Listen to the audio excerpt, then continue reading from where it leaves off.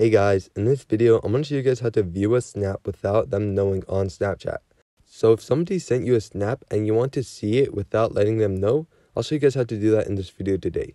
Normally it shows that you opened them and then it'll tell them that you've opened them. But if you want to do that without letting them know, first head into the Snapchat app. Once you're in the Snapchat app, head over to the chat feed. And as you can see, I've received a snap from your mom.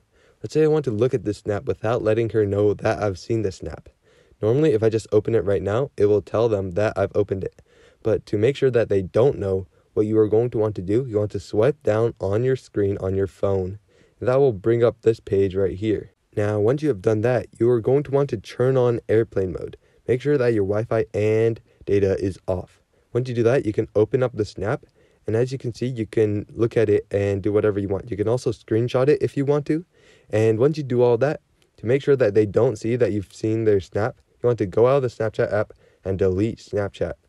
So on Android, you can just clear the cache for Snapchat, but on iPhone, you have to delete it. Once you do that, you can turn back on your internet and then you can re-download Snapchat. So just head over to your app store and then once you head over to the app store, search up Snapchat. Once you search up Snapchat, you can just re-download it by clicking on the download button. That will automatically restart downloading uh, Snapchat.